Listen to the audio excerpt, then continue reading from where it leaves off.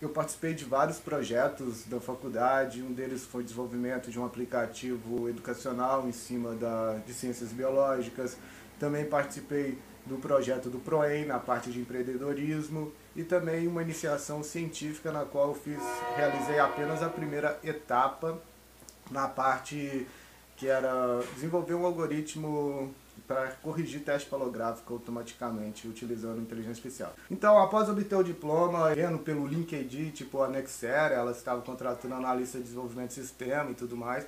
Então, participei do processo seletivo. Na entrevista, eles falavam, utilizavam a linguagem Django, é, o framework Django, quer dizer, usavam com a linguagem Python e tudo mais. E o Python eu tinha muita familiaridade, mas nunca tinha trabalhado com este framework.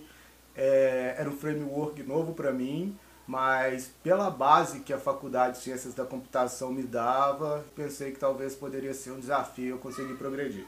Então eu consegui passar no processo seletivo.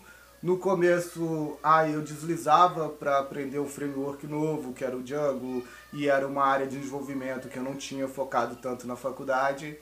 É, então, aos poucos, fui conseguindo caminhar e conseguir tirar esses aprendizados possíveis da parte de, da computação.